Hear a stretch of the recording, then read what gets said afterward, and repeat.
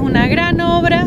Por supuesto fue presentado el proyecto ante eh, todo lo que tiene que ver con el Ministerio de Aguas eh, y de Obras Públicas de la provincia. Fue aprobado también desde el punto de vista ambiental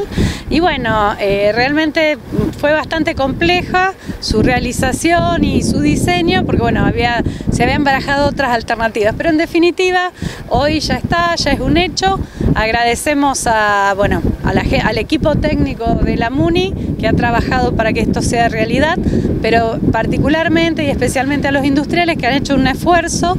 de alrededor de un millón y medio de pesos para la concreción de esta obra. Es eh, muy importante porque, bueno,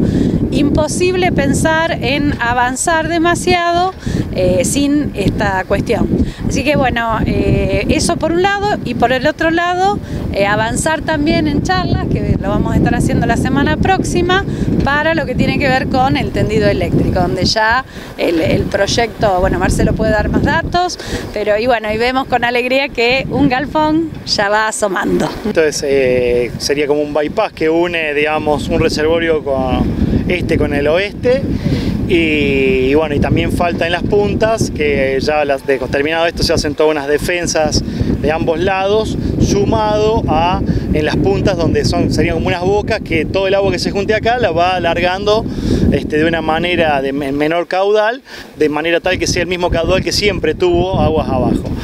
Y con respecto, bueno, como decía Estela, vamos a tener una reunión con los empresarios porque ya la obra de luz es necesaria, o sea, la, idea es dejar el parque operativo, operativo nos referimos a que tengan luz y que medianamente puedan llegar cada uno a su lote como para poder empezar con las construcciones y el que en este caso, como decía Estela, el que ya está más avanzado que puede empezar a producir.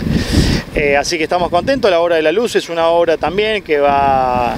va a influir, digamos, va a llevar muchos recursos económicos. Este, la verdad que es un esfuerzo muy grande el que están haciendo todos los industriales, lo valoramos.